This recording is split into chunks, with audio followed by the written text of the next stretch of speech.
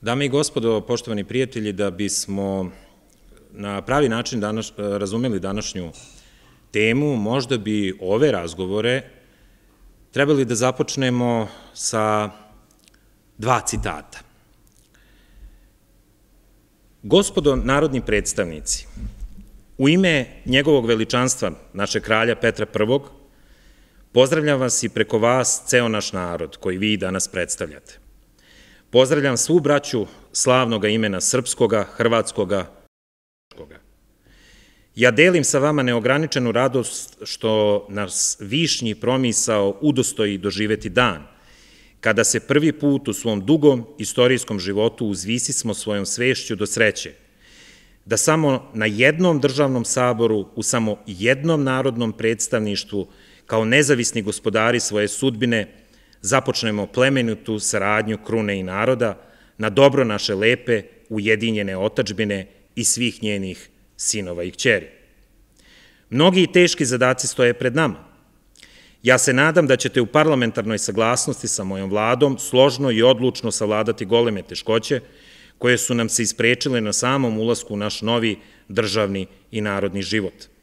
A u istom smislu potrebno je da se i dosadašnji plodovi unutrašnjeg državnog razvoja koji su Srbiji stekli zaslužni glas u celom našem narodu, što pre presade i na svu ostalu državnu oblast privremenim ustavom po kome ćemo vladati i upravljati. Dok Velika Narodna skupština kao ustavotvorno telo ne izgradi konačno temeljni zakon našeg srećnog kraljevstva. Ovo su bile reči regenta Aleksandra Karadžorđevića, buduće kralja Aleksandra I, odnosno drugog vladara prve južnoslovenske državne zajednice koje on izgovorio 16. marta 1919. godine u prestonoj besedi prilikom svečanog otvaranja privremenog narodnog predstavništva Kraljevstva Srba, Hrvata i Slovenaca koje je nekoliko meseci ranije bilo stvoreno prvodecembarskim aktom. Ovde vidimo jednu jasnu nadu, jedno jasno čak i uverenje vladara nove južnoslovenske i prve južnoslovenske državne zajednice da samo ujedinjeni svi jugosloveni i Srbi, i Hrvati, i Slovenci, mogu da grade tu srećniju budućnost na opštu polzu svih građana nove države. Sada ćemo čuti i drugi citat. I Srbi imaju jedan te isti ideal. Oni imadu poslovicu. Tko se ne osveti, taj se ne posveti. Oni drže da je sila jača od prava. Svi bez razlike neprestance govore o pobjedi. Nas Srbi nisu nikada pobjedili. Nema u povijesti jednog primjera da su Hrvati pred Srbima bježali. Obratnih primjera ima. Ove reči izgovorio je Stjepan Radić, u to vreme lider Hrvatske republikanske seljačke stranke 14. jula 1923. godine prilikom proslave jubileja Velike francuske revolucije. I sada kada uporedimo ova dva citata, koji su izgovorili najviši predstavnici prve južnoslovenske državne zajednice, odnosno Kraljevine Srba, Hrvata i Slovenaca, vidimo svu kompleksnost odnosa u prvom redu između Srba i Hrvata, odnosno između srpskih i hrvatskih političkih elita, ako uzmemo u obzir da je Aleksandar Karadžorđević ipak bio Srbin, makar po rođenju i makar po reklom. Kada vidimo tu kompleksnost, onda nesumnjivo dolazimo do pitanja na koji način je uopšte neko mogao i da zamisli da se može izgraditi jedna funkcionalna državna zajednica u kome će srpski i hrvatski narod i njihove političke elite predstavljati svojevrsnu osovinu te države. A svakako Srbi i Hrvati u jugoslovenskoj zajednici od 1918. pa do 1941. godine, ali i posle 1945. pa sve do 1991. godine, zaista i jesu činili tu potrebnu osovinu na kojoj je počivala državna struktura Jugoslavije. U jednoj državi, te 1918. godine, u okviru ovih razgovora i u okviru tribina Kulturnog centra Novog Sada, mi smo o tome više puta govorili, kad kažem mi, mislim na sve predavače, U jednoj državi u jednom, dakle, državnom okviru, u jednim granicama, 1918. godine odjednom su se našli južnoslovenski narodi koji tada ili do tada manje više nikada nisu ni živeli u okviru jednog državnog organizma. Na jednom prostoru, kažem, u okviru jednih granica, našli su se ljudi, našli su se narodi koji do tada malo šta da su imali zajedničkog. Sa druge strane, i srpski narod u Srbiji i u Crnoj Gori, kao i hrvatski narod u svojim istorijskim pokrajinama u okviru Austro-Ugrske, živeli su prema sobstvenim zakonomernostima koje su vekovi postojanja tih država, njihove izgradnje i njihove svrstishodnosti i izgradili.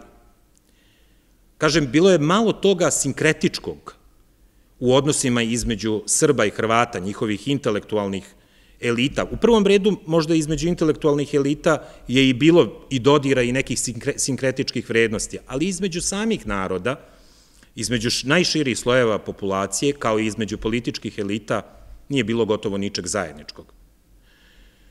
Ti narodi imali su, možemo reći, slične jezike, odnosno sličan jezik, i u to vreme on smatran jedinstvenim jezikom, srpsko-hrvatskim, iako je izgradnja tog srpsko-hrvatskog jedinstvenog književnog jezika bila prilično kontroverzna.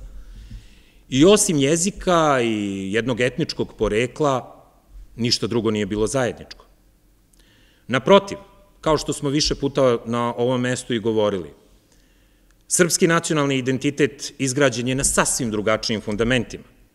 On je izgrađen na istorijskom nasleđu srpsko-slovenske, romejske, politič, uh, političke platforme, u duhovno-istorijskom pogledu ili u duhovno-identitetskom pogledu, srpski nacionalni identitet je izgrađen na osnovama istočno-pravoslavne civilizacije, opet u pogledu usko-političkih gledišta, možemo da kažemo da srpski nacionalni identitet je izgrađen na tekovinama građanskih revolucija, rizorđementa, odnosno preporoda, odnosno geneze nacija u 18. i 19. veku koje su izgrađivane širom Evrope, posebno u zapadnoevropskom delu evropske civilizacije i svakako sa jasnim uticajima ruske duhovne i političke protekcione snage na lingvističkom, na književnom i, kako rekoh, na državno-političkom planu.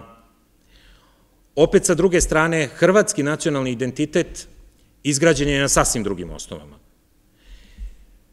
Tamo nacionalni identitet nije izgrađen bio na nekim platformama građanske svesti, koja nastaje revolucionarnim putem još od engleske revolucije u 17. veku preko velike francuske revolucije u 18. i evropske revolucije iz 1848. godine. Dakle, nije izgrađena postulatima građanske svesti i uopšte građanskih okvira uh, uh, građanskih okvira geneze jednog nacionalnog identiteta, kao što je to bio slučaj sa drugim evropskim narodima. Naprotiv, hrvatski nacionalni identitet, delimično i slovenački, građen je na postulatima postfeudalnih društava srednjoevropskog karaktera, sa jakim prozelitističkim uticajem rimokatoličke crkve i jednim potpunim drugačijim mentalnim sklopom shvatanja uloge države, države i društva u datom savremenom trenutku. Ta dva koncepta odjednom su ugrađena u temelje nove jugoslovenske države. To nikako ne suprotstavlja činjenici da je postojala jugoslovenska ideja, nastala još krajem 18. veka, da je ona bila veoma uticajna u pojedinim, pre svega, kako rekao, akademsko-intelektualnim krugovima i u Hrvatskoj, nešto manje u Beogradu, odnosno u Srbiji pre Prvog svetskog rata, ali je bila i tekako prisutna. I u ostalom, da nije bila prisutna, ne bi ni srpska vlada, odnosno srpska država 1914. godine stvaranje Jugoslavije postavila u temelje svog ratnog cilja.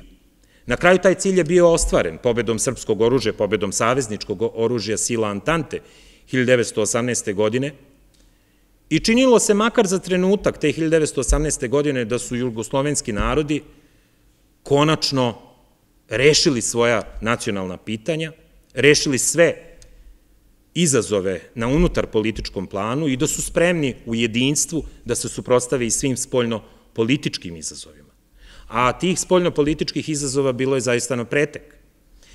Nova jugoslovenska država, pre toga i srpska i crnogorska država, imale su gotovo otvorena sva granična pitanja sa susednim državama, posebno sa Italijom i posebno sa Albanijom.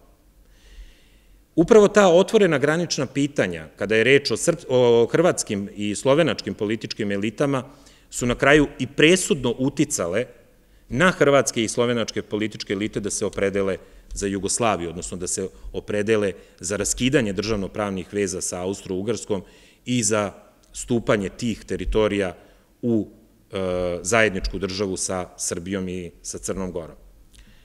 To je bio jedan moment, kažem, drugi moment je bilo prisutno uverenje kod hrvatskih političkih intelektualnih elita i kod slovenačkih da jugoslovenski narodi imaju zajedničku prošlost, da imaju taj potreban zajednički sadržalac istovetnih interesa.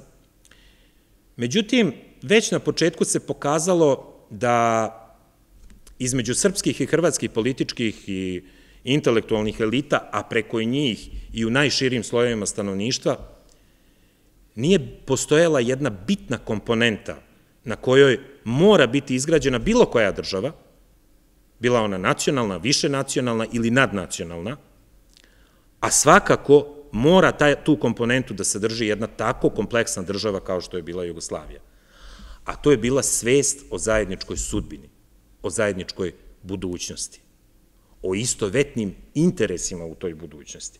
Te svesti nije bilo. I upravo taj problem se nalazi u srži razmimoilaženja između Srba i Hrvata, kada gledamo to uopšteno, i u najširim slojevima društva, a pogotovo između srpskih političkih i hrvatskih političkih elita. I upravo taj problem je pratio postojanje Jugoslavije, ja kažem i do 1991. godine, a svakako i do 1928. godine, kada je u čuvenom julskom, junskom atentatu na Stjepana Radića i vođe Hrvatske seljačke stranke u Narodnoj skupštini Kraljevine Srba, Hrvata i Slovenaca, ta politička kriza u prvom delu razvoja prve zajedničke jugoslovenske države doživela kulminaciju.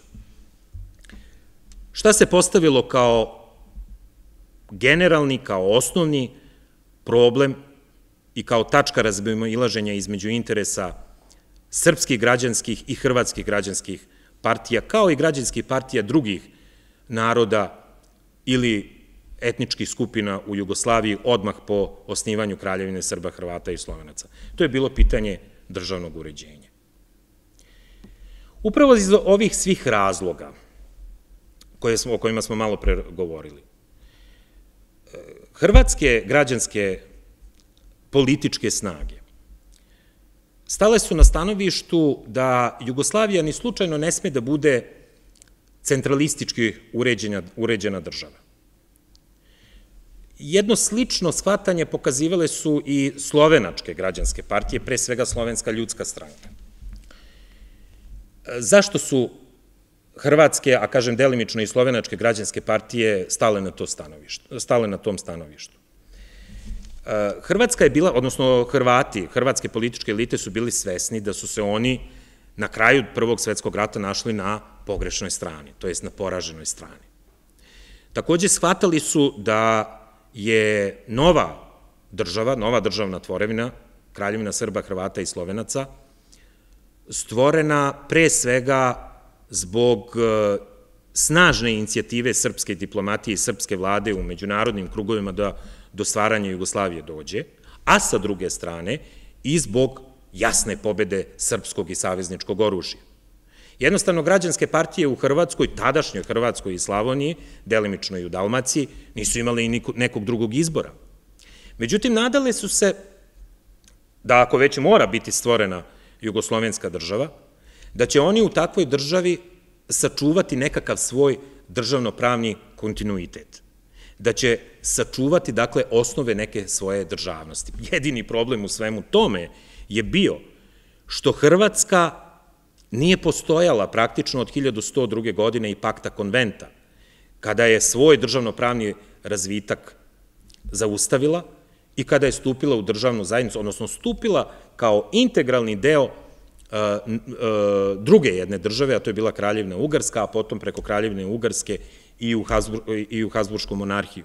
Jeste Hrvatska u toj državnoj zajednici tokom vekova zadržala neki vid državnopravnog postojanja ili samobitnosti, ali samo kao jedna pokrajina, istorijska pokrajina u, okviru Kraljevine Ugarske sa određenim stepenom autonomije ili samouprave. Ništa više od te, od te, tih državno-pravnih karakteristika Hrvatska nije posjedovala. Sa druge strane imamo Srbiju i Crnu Goru. Jedine dve autohtone ili autohtono stvorene južnoslovenske države na Balkanu, koje su zapravo sobstvenom snagom, sobstvenim trudom i stvorile sobstvene države, a na kraju i odbranile svoje samostalnosti, svoju nezavisnost. Hrvatska, dakle, već hiljadu godina nema nikakvog dodira sa nekom samostalnom državno-pravnom ustanovom ili državom, sobstveno, e, e, e, sobstvenom državom, u kojoj bi hrvatski narod ostvarivao neki potrebni nivo suverenosti. Toga nije bilo.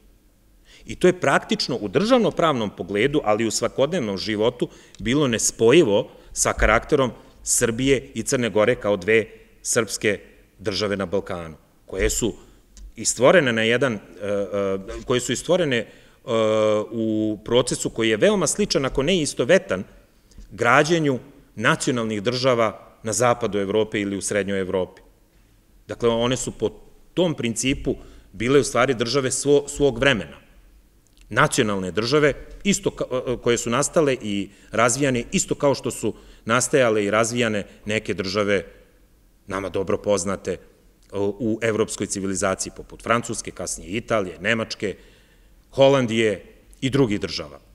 Hrvatska i hrvatski narod to tu tradiciju, drža, tu tradiciju državnosti i tu tradiciju postojanja državnopravne ustanove, kakva je država, Oni to nisu imali. Ali sa druge strane nadali su se da će upravo ruševine Prvog svetskog rata, Austro-Ugarska je pretvorena u ruševinu na, na, zgarištima, političkim zgarištima Prvog svetskog rata, nadali su se da će u toj situaciji konačno ostvariti svoj san o nekakvoj nacionalnoj državi.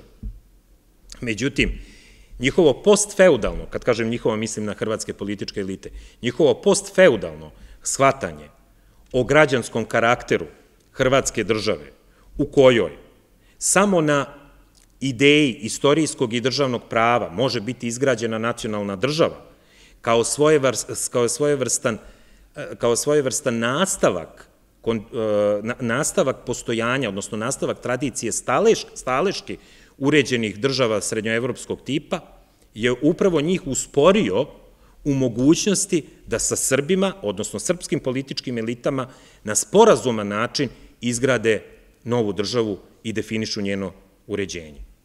S druge strane, srpske političke elite stoje apsolutno tada na stanovištu da nikakve istorijske pokrajine koje su postojale u Austro-Ugarskoj ne mogu da na formalno pravni način ili na ustavni način obstojavaju u ustavnom i državnom poredku nove države.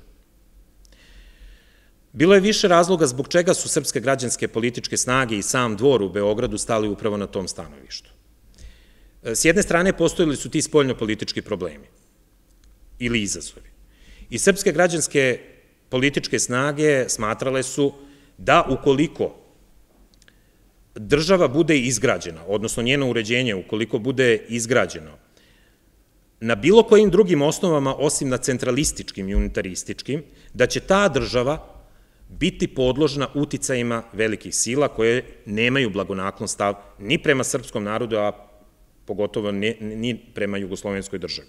Bili su svesni, aspiracija Italije, aspiracija Austrije i Mađarske, da uzmu, da te države zauzmu i sebi pripoje ogromne delove jugoslovenske teritorije, pogotovo na zapadu i jugu Hrvatske. Smatrali su takođe da bi na taj način i interesi srpskog naroda koji takođe tu živi bili ugroženi.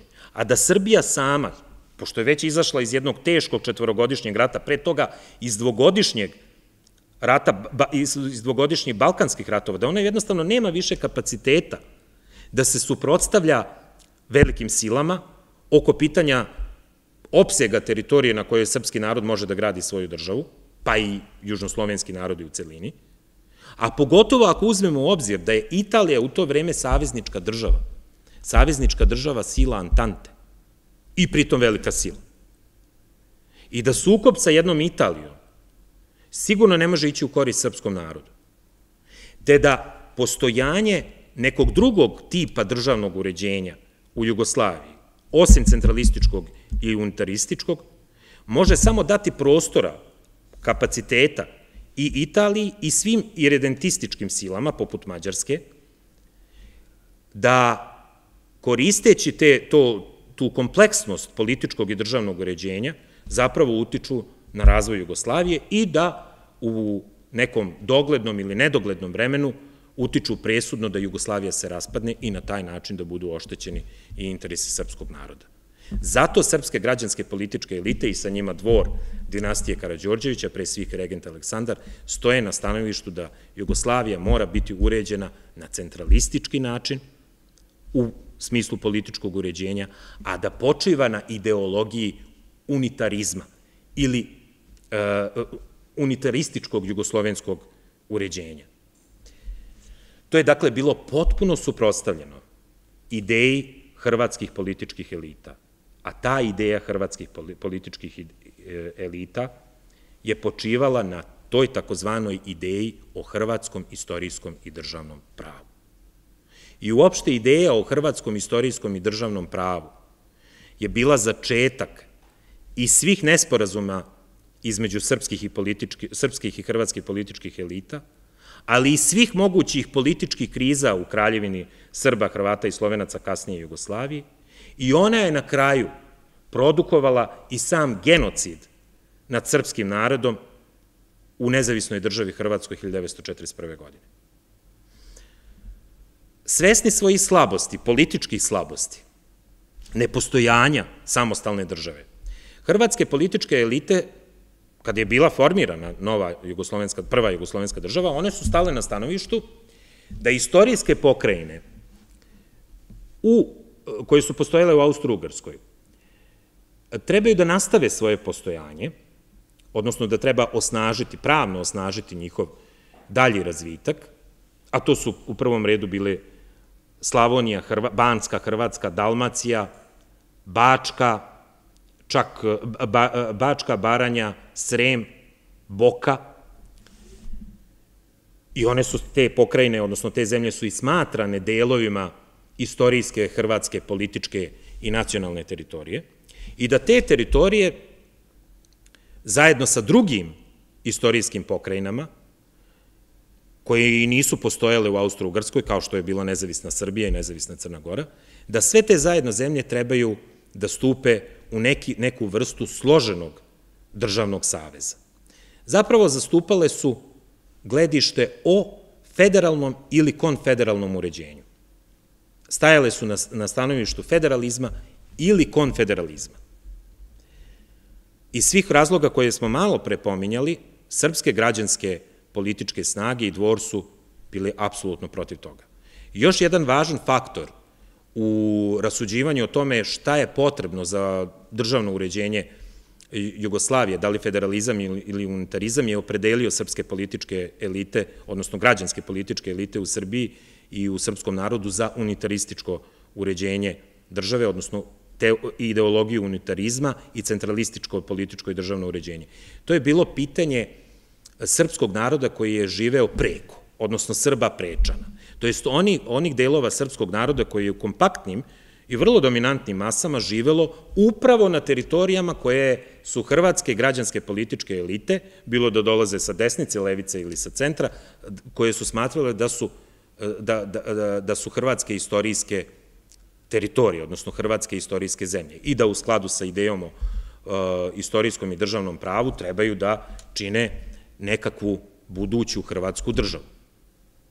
Na koji način zaštititi srpski narod, a videli smo 1941. godine koliko je bilo neophodno zaštititi srpski narod na tim teritorijama za koje hrvatske političke elite e, smatraju da pripadaju e, hrvatskom narodu, odnosno hrvatskom nacionalnom i političkom identitetu, na koji način možeš zaštititi taj narod ukoliko će taj narod e, svoj život provoditi u okviru nekakve, nekakve Hrvatske, da li samostalne e, države ili nekakve državne tvorevine u labavo uređenoj Jugoslovenskoj federaciji ili konfederaciji. To je iz tih razloga za srpske građanske političke elite bilo neprihvatljivo. I te dve suprotnosti su izrodile ogromnu političku krizu koja je, kako rekao, permanentno pratila život jugoslovenske države sve do 40 do 1941. godine. I te razlike su se odmah videle na popitanju usvajanja prvog ustava Jugoslovenske države. Izbori za Ustavotvornu skupštinu Kraljevine Srba, Hrvata i Slovenaca održani su 20. novembra 1920. godine. I na njima je, stupio, na njih je e, izašlo zaista veliki broj građanskih i negrađanskih političkih stranaka iz reda sva tri konstitutivna naroda u tadašnjoj kraljevini Srba, Hrvata i Slovenaca. Tada se pokazalo da od svih građanskih stranaka u Hrvatskoj i među hrvatskim narodom najuticajniju ulogu ima Hrvatska u to vreme Pučka seljačka stranka, odnosno Hrvatska, Hrvatska e, republikanska seljačka stranka ili kasnije Hrvatska seljačka stranka, koju je predvodio Stjepan Radić, odnosno koju su predvodili braća Radići. Ona je nastala 1904. godine i u početku nije imala gotovo nikakav uticaj u hrvatskom političkom telu. 1906. godine je prvi put izašla na izbore, ali e, tada za Ugarski parlament i za Hrvatski sabor, ali nije, nije uspela da uđe u e, e, predstavništva, odnosno narodna predstavništva tih, tih zemalja. Ona će tek 1908. godine uspeti da pređe taj čuveni cenzus i da sa dva svoja predstavnika postane parlamentarna stranka. Njen uticaj do, kažem, završetka Prvog svetskog rata je bio minoran. 1918. godine on bio gotovo nepostojeći. To je bio jedan od razloga zašto su Hrvati, možemo reći, uz neke probleme, uz neke krize, čak i oružane pobune, zašto je hrvatski narod na teritoriji Hrvatske, istorijske Hrvatske i Slavonije, zašto je relativno lako prihvatio promenu političkog stanja u njihovoj zemlji i raspada Austro-Ugarske, pa i nestanka te istorijske Hrvatske e, e, samoupravne teritorije, samoupravne pokrajine u okviru Kraljevine Ugarske i nastanak nove, odnosno prve jugoslovenske države.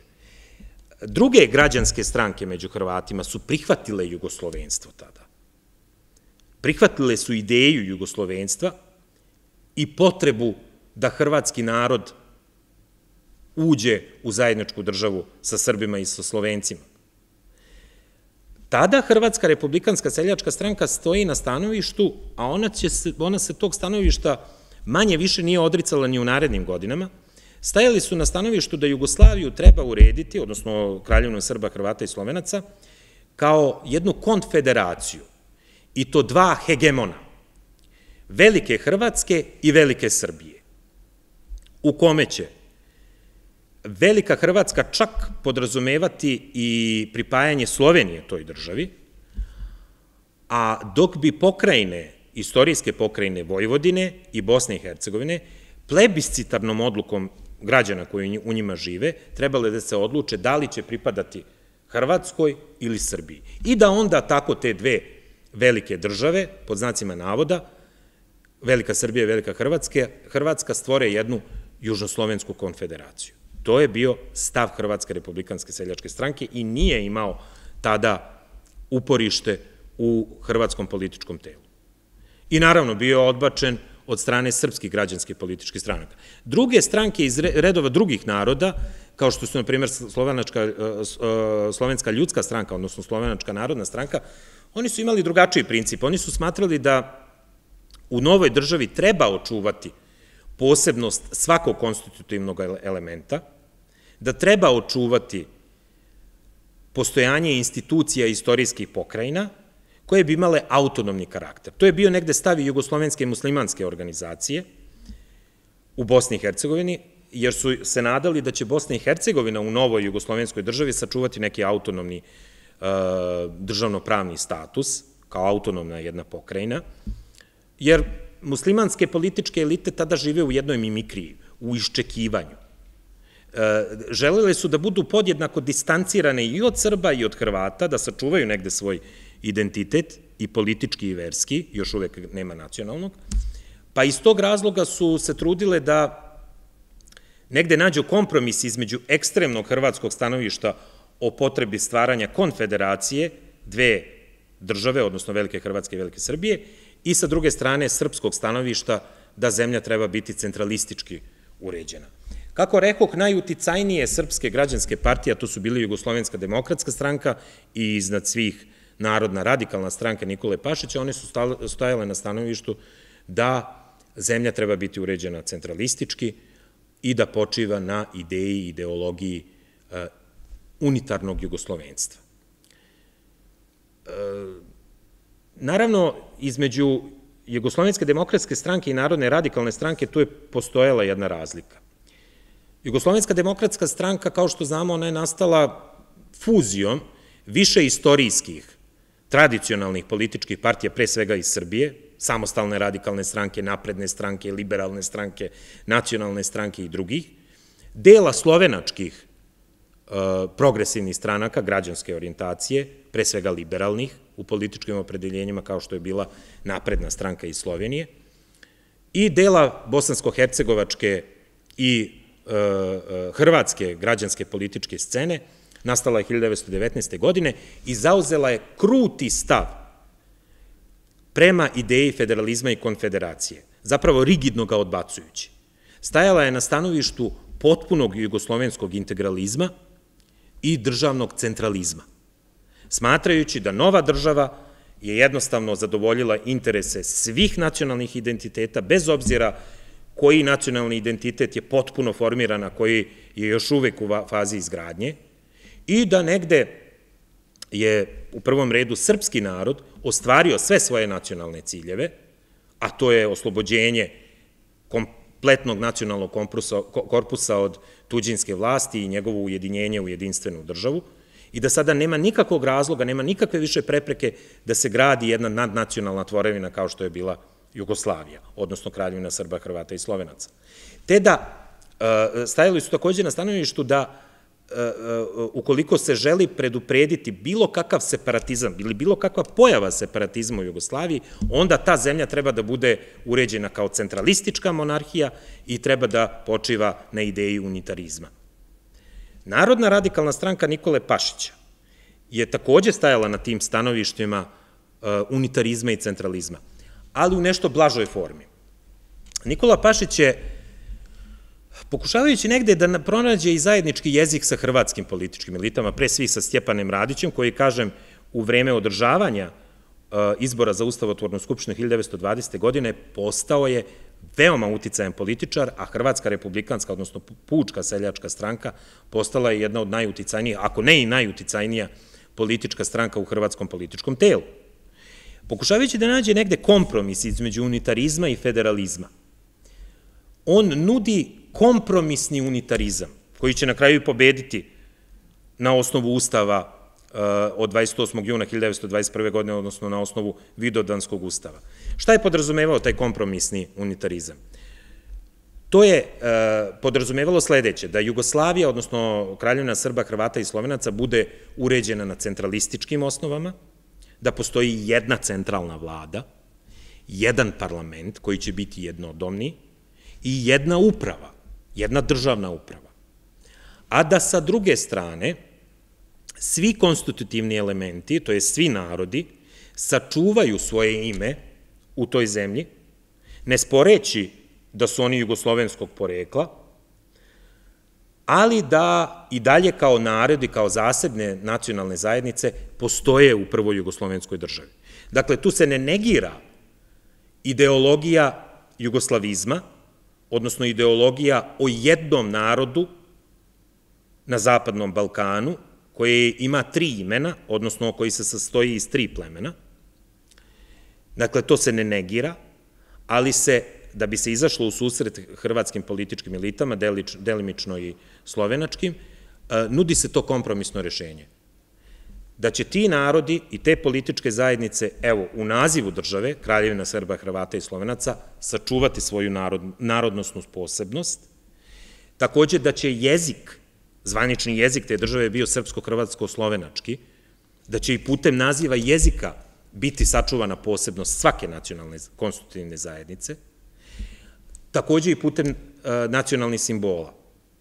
Jugoslovenska zastava je bila, imala je raspored boja plava, bela, crvena, koje su u stvari sve nacionalne boje i hrvatskog, i srpskog, i slovenačkog naroda, samo drugačije raspoređene.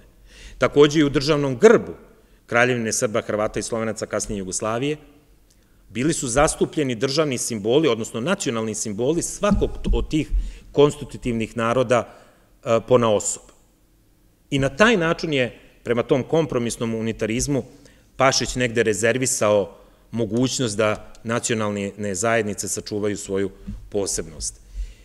Međutim, sve te ponude od strane Pašića, koje su na kraju prihvatili i Davidovićeve demokrate, demokrate Ljube Davidovića, one nisu mogle zadovoljiti interese hrvatskih građanskih političkih stranaka, koji su bili decidno protiv takve ideje o uređenju države, pa i tih ponuda od strane Pašića.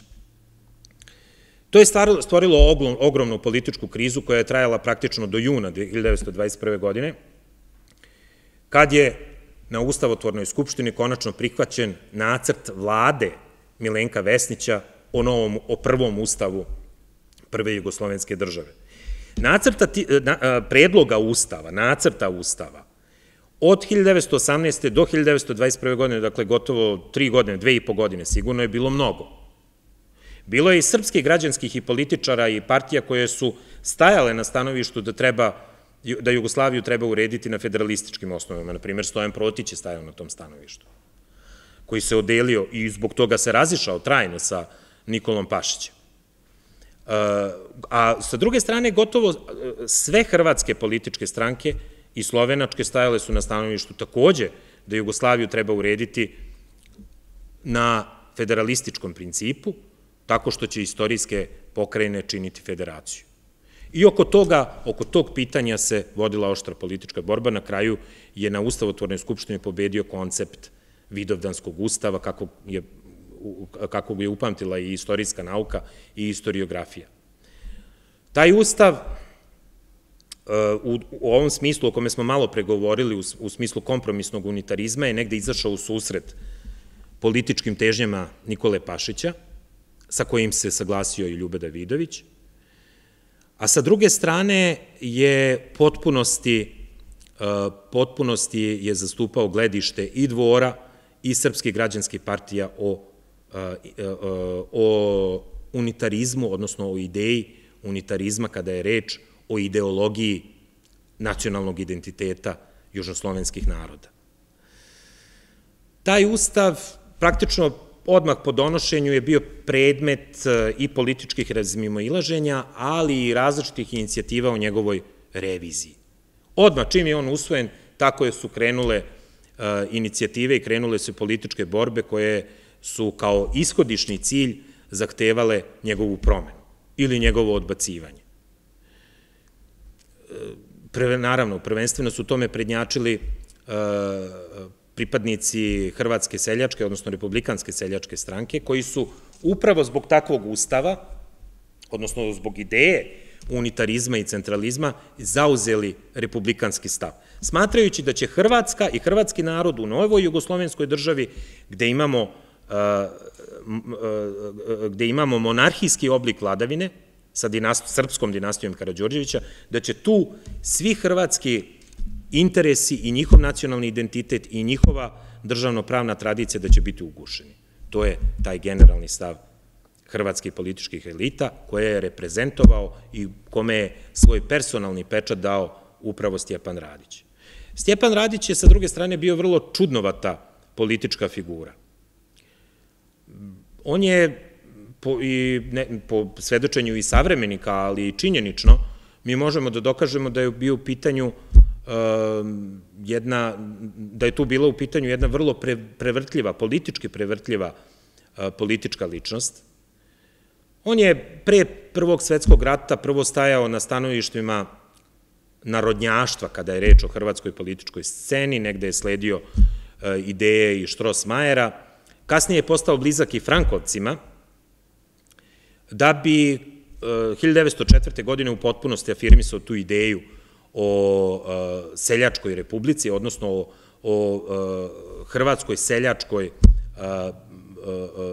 politici nacionalnog identiteta, gde on suštinski odbacuje frankovački vid, odnosno frankovačku varijantu ideje o istorijskom i državnom pravu, ali se ne odriče te ideje.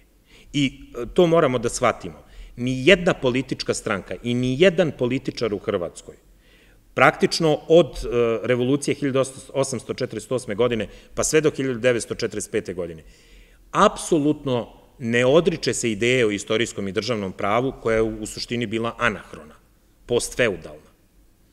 I upravo radi, samo na različite načine, radi na ostvarenju te ideje. Ta ideja je prisutna i u glavama onih političkih ličnosti koji su pripadali krajnjoj levici, kao što su komunisti. A pogotovo je ona bila prisutna kod Stjepana Radića.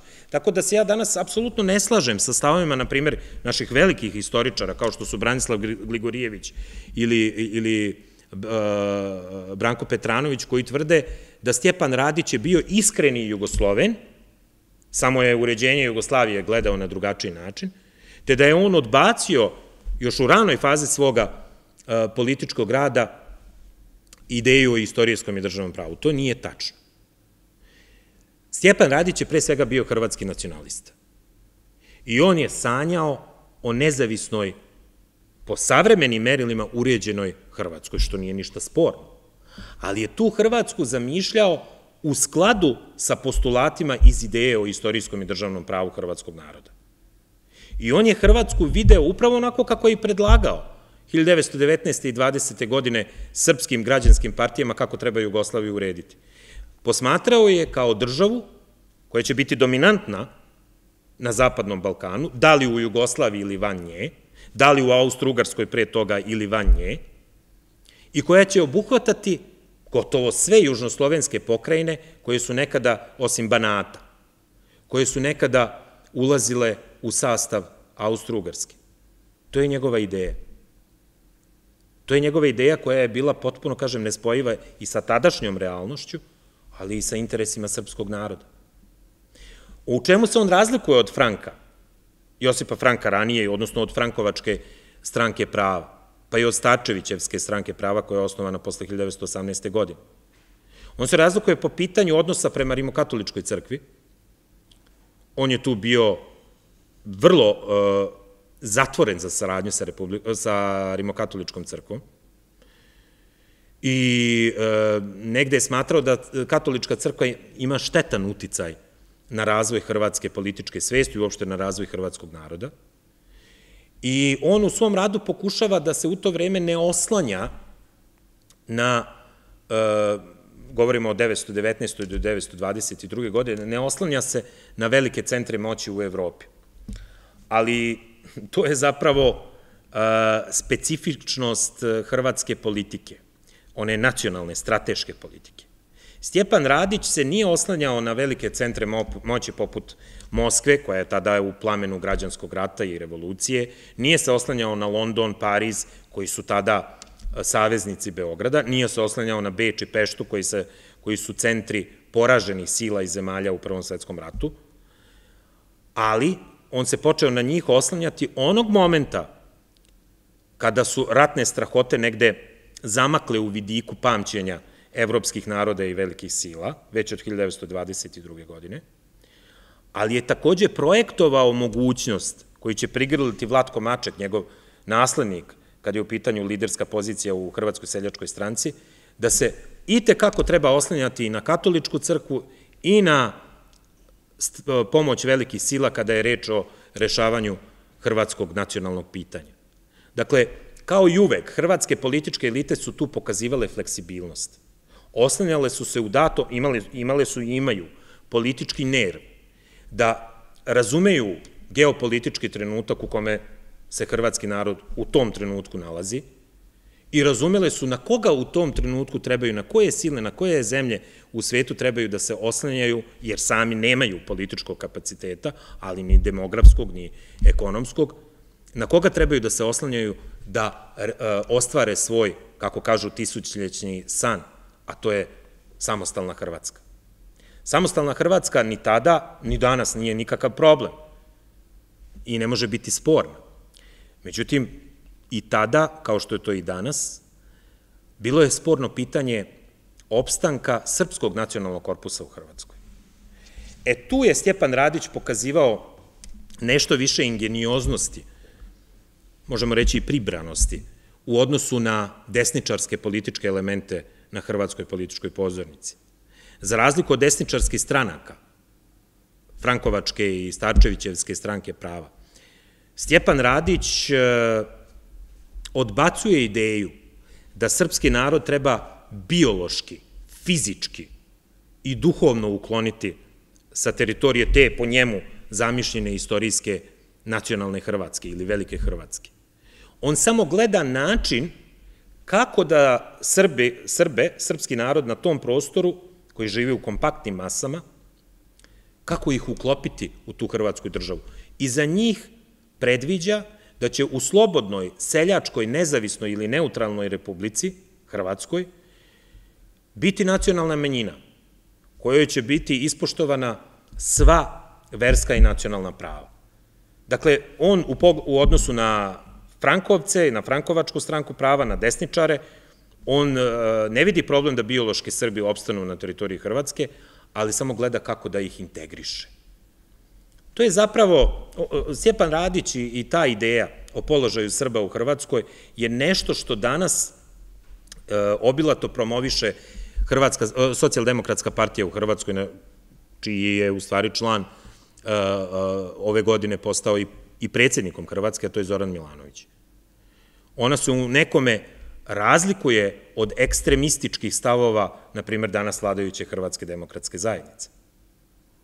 A i HDZ i SDP su uh, u današnjoj Hrvatskoj prigrlili neka shvatanja, pojedina shvatanja i Hrvatske seljačke stranke, kad je reč o SDP-u, ali i Frankovačke desnice i seljačke stranke Stjepana Radića kad je reč o HDZ-u. Sam Stjepan Radić je govorio da, uh, da Hrvatska ne može ostvariti svoju prirodnu, pod znacima navoda, vezu između kontinentalnog i primorskog dela, odnosno između Banske Hrvatske i e, Slavonije sa Dalmacijom, ukoliko Srbi neintegrisani žive na prostoru Krbave, Like, Dalmacije ili Bosanske krajine. Dakle, i taj aspekt problema u vezi sa uređenjem prve jugoslovenske države moramo danas uzeti u obzir, odnosno morali su ondašnje političke elite uzeti u obzir kada su to državno uređenje kreirali. E, kreirani ustav, po kome, kažem, postoji vladar kao šef države, sa velikim ovlašćenjima, čak i sa e, zakonodavnom inicijativom, vlada, parlament, jednodomni, i gde je država uređena na prost način, odnosno na, na integralnim principima, centralističkim principima, je zaista i usvojen 28. juna 1921. godine, to je taj Vidovdanski ustav. Za njega e, nije glasalo, odnosno protiv tog ustava je glasalo 35 poslanika u Skupštini, dok je čak 158 bilo abstinenata. Između ostalih, Hrvatska republikanska seljačka stranka je odbila da uopšte učestvuje u radu državnog parlamenta ili da glasa o njemu. Jer nisu hteli da polože zakletvu kralju. Odbijali su, dakle, i monarhijski oblik vladavine. A za ustav su glasale srpske, pretežno srpske stranke, Narodna radikalna stranka sa svojih 91 poslanikom, Jugoslovenska demokratska stranka sa svojih 92 poslanika, Jugoslovenska muslimanska organizacija sa svojih 24 poslanika i još i Turska, odnosno Albansko-Turska e, partija Džemijet, koji su dali nekih devet poslanika, ako se ne varam. Ustav je usvojen prostom većinom i Time je bio direktno prekršen ženevski sporazum i krvska deklaracija gde je bilo dogovoreno da će budući ustav buduće jugoslovenske države biti usvojen dvotrećinskom većinom. Nakon svega toga nastao je period političkih kriza. Samo do 1928. godine promenilo se 23 vlade. Promenile su se 23 vlade. Dve od te 23 e, e, su bile oborene u Skupštini, to jest izgubile su parlamentarnu podršku. A sve druge je oborio kralj. Ne zato što je on bio, kako kažu pojedini pre svega marksističko-komunistički istoriografi, ne zato što je on bio diktator, nego zato što je politička kriza toliko bila uznapredovala, da se ona nije mogla rešavati u, drugim institucijama sistema kao što je, kao što je bio parlament jednostavno parlament nije funkcionisao. I bila je potrebna intervencija kralja. Ti godina su se rađale i ideje o načinu na koji se ta kriza može razrešiti, a da se pritom ne uzima u obzir ni unitarističko, ni federalističko uređenje zemlje. Tada su rađane ideje o mogućoj amputaciji po znacima navoda, amputacije Hrvatske ili kako je to Stjepan Radić govorio o rastavi između srpskog i hrvatskog naroda. Protiv toga su decidno bili srpski političari. Sam Nikola Pašić je govorio da je, kao što je bilo nemoguće stvoriti e, Jugoslaviju prema federalističkom principu, da ju je svakako nemoguće i razdružiti. Jer e, govorio je gde povući granicu između Srba i Hrvata, ukoliko znamo da je tada na prostoru Hrvatske živelo oko 24%, Srba, na području Dalmacije živelo negde oko 17% Srba, u 72,7% Hrvata. Da na području Bosne i Hercegovine tada živio oko 42, možda i koji procenat više, pravoslavnih Srba, oko 23% Hrvata i oko 31% muslimana. Gde povući, i to žive izmešano, nekada u kompaktnim masama, ali uglavnom izmešano. Gde povući tu granicu? Pa je često prikazivao vrlo slikovit primer. Sklopio bi šake i rekao, ako, kako sada da razdvojimo te šake, ako ih je nemoguće rasklopiti, gde povući granicu između njih, a da ne povredimo prste? Međutim, Nikola Pašić je prvo, pored toga što je bio politički genij, što je bio iskusan, mudar, političar. On je pre svega bio politički lisac. I znao je on vrlo dobro da šake jednostavno možeš rastaviti. Ukoliko postoji volja za tim i ukoliko postoji dovoljno zdravlja u organizmu. Ali on je imao nešto drugo na umu. Nikola Pašić je bio svestan da jeste Jugoslavija nastala voljom jugoslovenskih naroda. Jeste bila prisutna jugoslovenska ideja, naročito u Zagrebu. Ali bio je svestan da Jugoslavija nikad ne bi nastala da nije pre svega bilo volje velikih sila. I vrlo dobro danas znamo da je presudnu ulogu u stvaranju Jugoslavije, osim, kažem, volje jugoslovenskih naroda i njihovih političkih elita. Vrlo dobro znamo da je Jugoslavija nastala pre svega voljom Sjedinjenih američkih država, naravno i Velike Britanije i Francuske, ali u prvom redu Sjedinjenih američkih država. To je bio tada interes zapadnih sila. Zašto je postojao taj interes? Austro-Ugarske je nestalo. Još hilj, početkom 1918. godine niko nije verovao da će Austro-Ugarska nestati. Austro-Ugarska je još u 19. veku nazivana pešadijom Velike Britanije.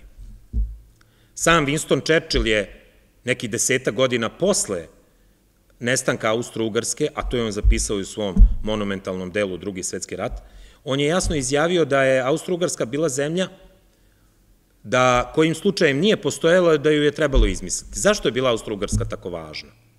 Zato što je ona predstavljala organsku vezu na jednom e, teritorijalno-politički kompaktnom prostoru između Baltika i Jadrana i između Baltika i Egeja, koja je bila pod kontrolom, da tako kažemo, političkih centara na zapadu.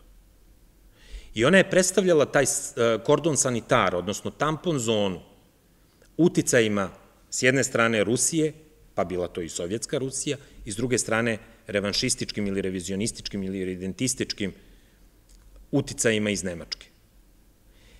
Ako već Austro-Ugarska ne postoji, onda moramo stvoriti neku drugu državu ili drugi politički, neku drugu političku realnost koja će makar imati funkcije kakva je imala Austro-Ugarska, ako već neće izgledati kao ona. I to je zaista bilo i stvoreno. Stvorena je bila Jugoslavija, kao versajska tvorevina, stvorena je bila Čehoslovačka i Poljska. Njihovim udruživanjem, stvaranjem saveza, balkanskih zemalja, male antante, bio je stvoren taj sanitarni kordon koji je imao tu geopolitičku funkciju Austro-Ugarske sprečavanja uticaja Rusije i Nemačke na ovom prostoru. Pašić je toga bio svestan.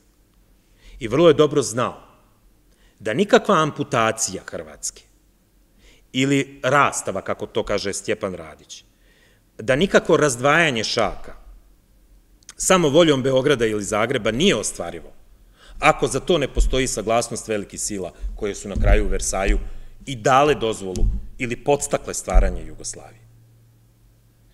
I zato on čvrsto stoji na tom jugoslovenskom opredeljenju. Uveren da će upravo Jugoslavija, gde svi Srbi konačno žive u istoj državi, ali i sve Hrvati i svi Slovenci, ili gotovo svi Slovenci, uveren da će ta država zaštititi te srpske nacionalne interese. I da, ukoliko bi dopustio da se Jugoslavija preuredi na federalističkim osnovama, da bi Srbi u kompaktnim masama ostali podeljeni, veliki deo njih govorimo o 2, 2,5 miliona Srba, ostao bi da živi u nimalo blagonaklono ustrojenoj nekakvoj hrvatskoj državi. To je osnovni razlog zašto Nikola Pašić i ne samo on, i drugi građanski političari i političke partije iz Srbije, ali i sa drugih, ali i srpske partije sa drugih prostora Jugoslavije stoje na stanovištu da unitarizam i centralizam treba zaštititi, iako su bili svesni da država posle 1921. godine na tim osnovama ne može da funkcioniše i da samo produkuje dalje probleme i dalje izazove. Svi ti, kompletna ta politička kriza, kako rekoh, kulminirala je 1928. godine. Kulminirala je onog momenta kada je kada se desio zaista zločin, 20. juna u Narodnoj skupštine Kraljevine Srba, Hrvata i Slovenaca, kada je radikalski poslanik, nekada crnorukaš, Puniša Račić, pucao u predstavnike Hrvatske seljačke stranke i Seljačko-demokratske koalicije i tom prilikom ubio i Stjepana Radića i njegove i neke od njegovih saradnika, a druge ranije. Tad je postalo jasno da je Jugoslavija na najklimavijim mogućim nogama i da je potrebno uložiti mnogo napora da bi ona opstala. Mi ćemo o tom atentatu govoriti u narednom predavanju, ali da je tada bilo jasno, ako nekome do tad nije bilo jasno, da jugoslovenstvo, bilo ono unitarno ili federalističko, nema budućnost, tada je makar mogao to da nazre. Jer ako uzmemo u obzir činjenicu da je 1945. Jugoslavija izgrađena po federalističkim principima, a jeste, onda se postavlja logično pitanje, a zašto nije onda opstala? Ako je unitarizam i centralizam, ukoliko su bili smetnja postojanju Jugoslavije, a ne hrvatska ideja o državnom i istorijskom pravu, zašto onda federalna Jugoslavija nije opstala? Pa nije opstala zato što je nisu želele hrvatske, slovenačke, bošnjačke i neke druge političke elite osim srpske. Iz tog razloga nije opstala. Jugoslavija je za te političke elite i narode bio samo korak do ostvarenja svojih separatističkih težnji, a to su bile težnje za stvaranjem nacionalne države, gde su, su hrvatske političke elite ostale, otišle i korak unapred, gradeći tu nacionalnu državu na bezumnim zločinima genocida nad Srbima, jevrejima, Romima i antifašističkim Hrvatima u nezavisnoj državi Hrvatskoj u drugom svetskom ratu i Tuđmanovim etnocidom nad preostalim srpskim stanovništvom 1991. i 1995. godine u ovoj savremenoj, tako reći, demokratskoj Republici Hrvatskoj. Možda niko bolje nije objasnio šta je to bilo jugoslovenstvo do Jovana Dučića. I on je to pre nekih 80 godina i zapisao. Jugoslovenstvo nije poniklo ni iz kakvih pozitivnih osnova, nego iz jednog apsolutnog nesporazuma. Produkt je jednog naročitog poremećaja svih zdravih načela za život, jedna romantika, koja postavljena nasuprot realne politike je i jedna fatamorgana koja je odvela u katastrofu državu Srbiju. Jedino realnu u tom nezdravom snu o nemogućem i neprirodnom. Ja vam se svima zahvaljujem.